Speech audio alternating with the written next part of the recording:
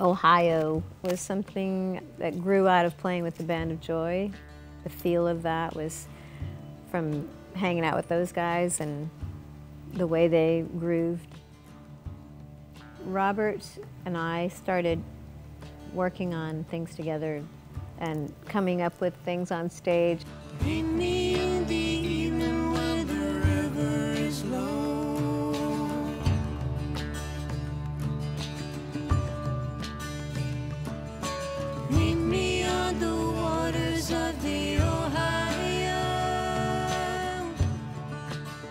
I was gonna pitch it to him as a song, actually, but, or, or actually, I, I no, I wanted him to doctor the song for me because I it was not working. So he went through it and went, "Oh, I think you should do this, this, this, this. Slow it down and switch that and move this line in here.